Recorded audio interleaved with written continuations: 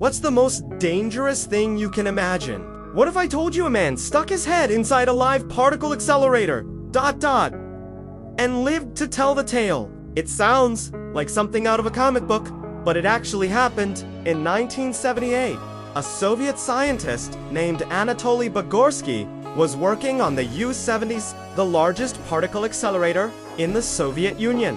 While checking a piece of faulty equipment, the safety mechanisms failed, and a proton beam, moving at nearly the speed of light, shot directly through his head. He described seeing a flash brighter than a thousand suns, but felt no pain. Doctors expected the worst, predicting he wouldn't survive the massive radiation dose.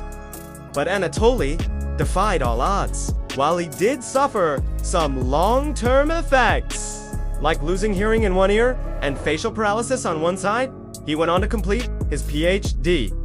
His is a truly mind-bending story of survival against impossible odds. If you found this story as incredible as I did, hit that like button and subscribe for more amazing true stories. Thanks for watching!